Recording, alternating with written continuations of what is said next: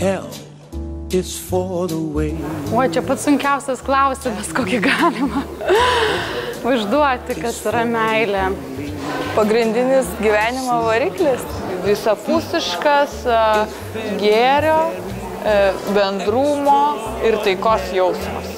O Jėzus, ne, man tai meilė yra daug kas. Man meilė visai nebūtinai žmogus su žmogumi. Aš, pavyzdžiui, galiu mylėti paveikslą, dainą, nežinau, vietą įsimylėti ir dar kitus dalykus. Aš apskritai galbūt išgirdu žodį meilė, negalvoju apie tą meilę tarp dviejų žmonių.